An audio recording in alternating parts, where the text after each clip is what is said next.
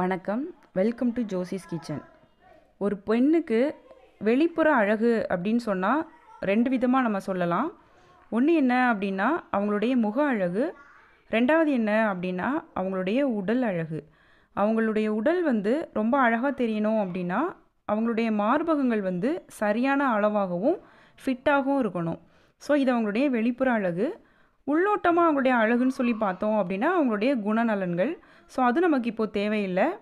இன்றைக்கி நம்ம பார்க்க போகிறது என்ன அப்படின்னா அந்த வெளிப்புற அழகு அதாவது சிறியதாக இருக்கக்கூடிய அந்த ப்ரீஸ்ட்டை நம்ம எப்படி இயற்கை முறையில் வீட்டில் இருக்கக்கூடிய பொருட்கள் வச்சு பிக்காக மாற்றலாம் அப்படின்னு சொல்லிட்டு தான் நம்ம பார்க்க போகிறோம் ஒரு பெண்ணுக்கு அவங்களுடைய மார்பகங்கள் வந்து கொழுப்பு திசுக்களால் ஆனது தான் ஸோ அது வந்து தசைகளால் ஆக்கப்பட்டது கிடையாது.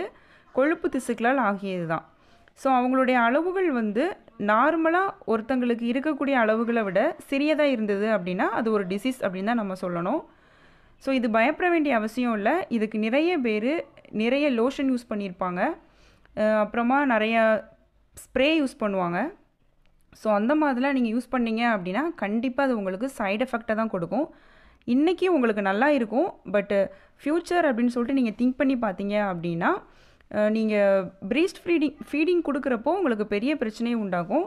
ஸோ இதுவே உங்கள் நீங்கள் ரெகுலராக பண்ணிட்டு இருந்தீங்க அப்படின்னா ஹண்ட்ரட் பர்சன்ட் சொல்லலாம். அது வந்து உங்களுக்கு கேன்சருக்கு வந்து வழிவகுக்கும் அப்படின்னு சொல்லிட்டு. ஸோ அந்த மாதிரி எதுவுமே யூஸ் பண்ணாதீங்க. ஸோ வீட்டில் இருக்கக்கூடிய நேச்சுரலான பொருட்கள் வச்சு எந்த விதமான சைடு எஃபெக்ட்டும் இல்லாமல் நம்ம அதை எப்படி சரி பண்ணலாம் அப்படின்னு சொல்லிட்டு தான் நம்ம பார்க்க போகிறோம் ஸோ வீடியோவை கடைசி வரைக்கும் பாருங்கள் ஒவ்வொரு ரெமடிக்கும் இடையில முக்கியமான டிப்ஸ் நான் உங்களுக்கு சொல்லியிருப்பேன். எதெல்லாம் நம்ம செய்யணும் எது செய்யக்கூடாது என்ன எல்லாம் நம்ம சாப்பிடணும் அப்படின்னு சொல்லிட்டு ஸோ இந்த வீடியோலையுமே நான் உங்களுக்கு வெளிப்புறமாக அப்ளை பண்ணுறதுக்கும் போட்டிருக்கேன். அப்புறமா உள்ளே நம்ம என்ன சாப்பிடணும் என்றைக்குமே நம்ம உணவாக எடுத்துக்கிறதும் நல்லது வெளிப்புற பூச்சும் நல்லது. ரெண்டுமே நம்ம ஃபாலோ பண்ணோம் அப்படின்னா தான் ஒரு பெர்ஃபெக்ட் ரிசல்ட் நமக்கு கிடைக்கும். ஸோ அதனால் நீங்கள் கடைசி வரைக்கும் பாருங்கள் ஸோ ஃபர்ஸ்ட் ரெமடி என்ன அப்படின்னு சொல்லிட்டு நம்ம இப்போது பார்த்துடலாம். இதுக்கு முதல்ல நம்ம எடுத்துக்கிட்டது என்ன அப்படின்னா சின்ன வெங்காயம் இது என்ன பண்ணுங்க அப்படின்னா தோல் நீக்கிட்டு ஒரு இடிகள் அப்படி இல்லைன்னா அம்மியில் போட்டு நல்லா விழுதாக அரைச்சி அதில் இருந்து ஜூஸ் பிழிஞ்சு எடுத்துக்கோங்க. ஸோ இப்போ நம்ம இதுலேருந்து ஜூஸ் பிழிஞ்சு எடுத்துக்கலாம். இப்போ நம்ம வந்து வெங்காய ஜூஸ் வந்து எடுத்தாச்சு. இப்போ இது கூட அடுத்து நம்ம என்ன சேர்க்க போகிறோம் அப்படின்னா அரை டீஸ்பூன் மஞ்சள் பொடி சேர்த்துக்கலாம். இது குழம்புக்கு போடுறதுனால எடுத்துக்கோங்க. அப்படி இல்லைன்னா நீங்கள் கஸ்தூரி மஞ்சள் பொடி எடுத்துக்கோங்க. வெங்காய ஜூஸ் வந்து ரெண்டு டீஸ்பூன் எடுத்துக்கோங்க. ஸோ இப்போ இது கூட ஒரு டீஸ்பூன் நம்ம தேன் சேர்த்துக்கலாம். மார்க்கெட்டில் நல்லா சுத்தமான தேனாக பார்த்து வாங்கிக்கோங்க.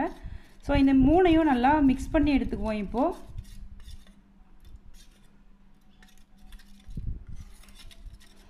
ஸோ இதை என்ன பண்ணுங்கள் அப்படின்னா ப்ரீஸில் அப்ளை பண்ணிக்கோங்க. அப்ளை பண்ணிவிட்டு பத்துலேருந்து பதினஞ்சு நிமிஷம் நீங்கள் வந்து நல்லா மசாஜ் பண்ணிகிட்டே இருக்கணும். ஸோ மசாஜ் பண்ணிவிட்டு அதுக்கப்புறம் ஒரு மணி நேரம் நீங்கள் அப்படியே விட்டுருங்க. ஒரு மணி நேரம் கழித்து நார்மல் வாட்டர் வச்சு நீங்கள் குளிச்சிக்கோங்க. அப்படி இல்லைன்னா வெது வெதுப்பான நீர் வச்சு நீங்கள் குளிச்சிக்கோங்க. ஸோ இதே மாதிரி நீங்கள் ரெகுலராக ஃபாலோ பண்ணிட்டு வந்தீங்க அப்படின்னா கண்டிப்பாக உங்களுக்கு அந்த ப்ரீஸ்டோட சைஸ் வந்து பெருசாகும். ஸோ இந்த மாதிரி ஃபாலோ பண்ணுங்கள் ஆனால் நீங்கள் நல்லா மசாஜ் பண்ணணும்.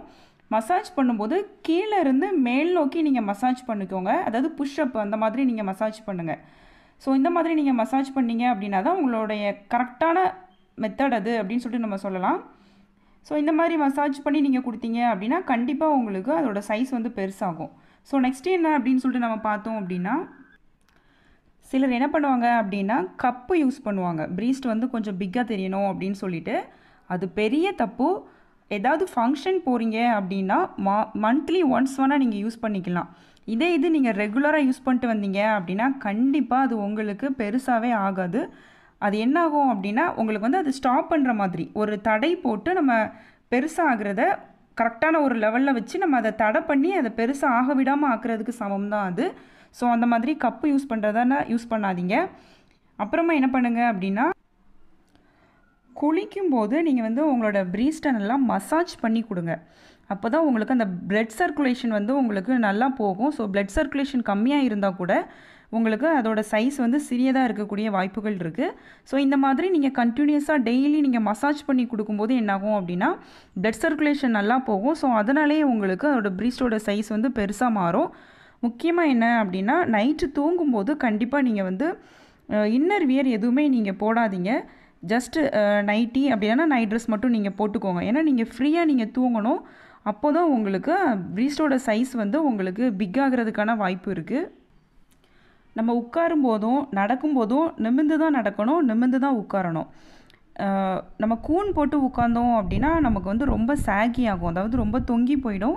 அது மட்டும் இல்லை அதோட சைஸ் வந்து பெருசாகிறதுக்கு வாய்ப்புகள் இருக்காது. ஸோ நான் ஏற்கனவே ஒரு வீடியோ போட்டிருக்கேன். சாகியாக இருக்கிற ப்ரீஸ்ட்டை நம்ம எப்படி ஃபிட்டாக வச்சுக்கலாம் அப்படின்னு சொல்லிட்டு அதோட லிங்க் நான் உங்களுக்கு டெஸ்கிரிப்ஷன் பாக்ஸில் கொடுத்துருக்கேன். ஸோ அதில் போய் நீங்கள் செக் பண்ணிக்கோங்க. இன்னும் என்ன அப்படின்னா நம்ம போடுற ப்ராவோட சைஸு கண்டிப்பாக கரெக்டாக இருக்கணும். தேர்ட்டினா தேர்ட்டி தேர்ட்டி டூனா தேர்ட்டி டூ ஸோ நீங்கள் சிலர் என்ன பண்ணுவாங்க அப்படின்னா ரொம்ப டைட்டாக இடுக்கு பிடிச்சிக்கிட்டு இருக்கிற மாதிரி போடுவாங்க. அப்படியும் போடக்கூடாது. ரொம்ப லூஸாகவும் இருக்கிற மாதிரி போடக்கூடாது. கரெக்டான அளவில் போடணும். போடுற ப்ராவும் ரொம்ப கரெக்டாக பெர்ஃபெக்டாக இருக்கிற மாதிரி நீங்கள் பார்த்து வாங்கிக்கோங்க. ஸோ நிறைய நான் இன்ஸ்ட்ரக்ஷன் கொடுத்துருக்கேன். அது வந்து நான் சாகியாக இருக்கிற அந்த பிரீஸ்ட்டை எப்படி ஃபிட்டாக வச்சுக்கணும் அப்படிங்கிறதுல அந்த லிங்க்கில் நீங்கள் போய் பார்த்தீங்க அப்படின்னா உங்களுக்கு நிறையா ஐடியாஸ் கிடைக்கும். ஸோ நெக்ஸ்ட்டு ரெமடி என்ன அப்படின்னு சொல்லிட்டு நம்ம பார்த்துடலாம் இந்த அதிமதுரம் வச்சு தான் நம்ம பார்க்க போகிறோம் இது வந்து உங்களுக்கு நாட்டு மருந்து கடைகளில் கிடைக்கும். அப்படிலாம் டிபார்ட்மெண்டல் ஸ்டோரில் நீங்கள் கேட்டு வாங்கிக்கோங்க. இந்த மாதிரி கிடைக்கும் அப்படின்னா நீங்கள் பவுடராக கூட நீங்கள் வாங்கிக்கோங்க. ஸோ இதை வச்சு நம்ம உணவாக தான் நம்ம இதை பயன்படுத்த போகிறோம் ஸோ அதை எப்படி செய்யலாம் அப்படின்னு சொல்லிட்டு பார்க்கலாம். இந்த மாதிரி ஒரு சின்ன சைஸ் பீஸ் எடுத்துக்கோங்க. அப்படி இல்லை நீங்கள் பொடியாக எடுக்கீங்க அப்படின்னா ஒரு ஒன்றரை டீஸ்பூன் மட்டும் நீங்கள் எடுத்துக்கோங்க. ஸோ நெக்ஸ்ட்டு என்ன செய்யலாம் அப்படின்னு சொல்லிட்டு பார்த்துருவோம் ஸோ இப்போ ஒரு பாத்திரத்தில் ஒன்னேகால் கப்பு நம்ம தண்ணீர் எடுத்துக்கலாம். கிட்டத்தட்ட உங்களுக்கு இது முந்நூறு எம்எல் வரும். அம்மி அப்படி இல்லைன்னா இடிகளில் இந்த மாதிரி நீங்கள் தட்டி வச்சுக்கோங்க அந்த அதிமதுரத்தை.